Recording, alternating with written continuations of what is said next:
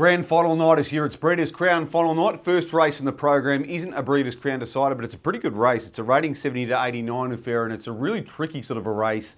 Speed map, Casbah Kid gets across the pole marker, and then the battle's on between Maestro Bellini and the very quick beginner high rolling for who will occupy the top end position. I think that Maestro Bellini will get there, Casbah Kid behind the leader, but I think they will have burned some petrol in the early stages.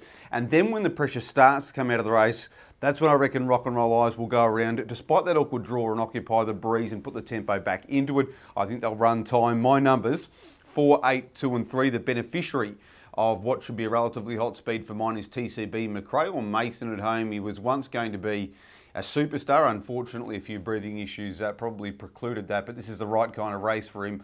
I think he's the benchmark, but the best value in this race and the best roughie of the night is number eight, Rock and Roll Eyes, who's competed so well at this sort of a level. He's so strong. He's stronger than his rivals here. And if he can turn this race into a slugging contest, he might be able to get the better of them. I've thrown in for third Casbah Kid. He gets the perfect trip, but I just worry that he's not the most genuine character going around. And number three, Maestro Bellini, who can be a little bit lazy in front, but if he gets there and dictates terms and Rock and Roll Eyes doesn't put the pressure on, he can win as well. Numbers in the first event on the program on Super Saturday at Tabcorp Park, Melton, 4, 8, 2 and 3.